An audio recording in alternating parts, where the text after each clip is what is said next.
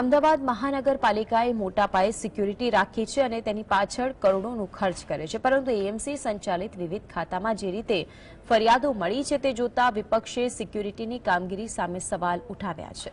વિપક્ષ નેતા શહેજાદ ખાન પઠાણે જણાવ્યું કે Ahmedabad corporation, school board, Sabarmati riverfront AMTS dental college, Janmarg એએમટીએસમાં private સંસ્થાઓને સિક્યુરિટી તથા બાઉન્સર્સ સપ્લાય કરે છે અને એજન્સીઓને મોટી રકમના કોન્ટ્રાક્ટ આપ્યા છે. તેમાં મોટાભાગની એજન્સીઓ સત્તાધારી પક્ષ સાથે સાંઠગાંઠ ધરાવતી રાજકીય દબાણ દ્વારા પ્રાઇવેટ સંસ્થાને આવા કામ આપી કોર્પોરેશનને આર્થિક નુકસાન થાય તેવી પેરવી કરે છે.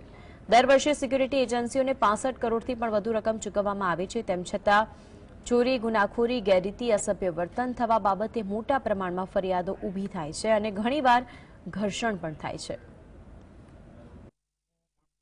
कहीं ना कहीं कांग्रेस पार्टी ये सवाल करती है कि ऐसे भारतीय जनता पार्टी के कई खास नेताओं की, कंपनियों के वजह से अहमदाबाद म्यूनिसिपल कॉरपोरेशन की तिजोरी को नुकसान पहुँच रहा है। चार हज़ार से ज़्यादा सिक्योरिटी गार्ड्स होने के बाद भी कहीं ना कहीं अहमदाबाद म्यूनिसिपल कॉरपोरेशन की प्रॉपर्टी सलामत नहीं है। सबसे बड़ा उदाहरण हम रिवर फ्रंट पर देख सकते हैं। एजेंसी की जो टीम है, कहीं ना कहीं Bharatiya Janata party Ahmedabad municipal corporation में मिलकर भ्रष्टाचार को पनप पनपा रही है। मैं मानता हूँ कि आने वाले समय में इन सभी सिक्योरिटी एजेंसीज पर कांग्रेस पार्टी एक विजिलेंस तपास करने वाली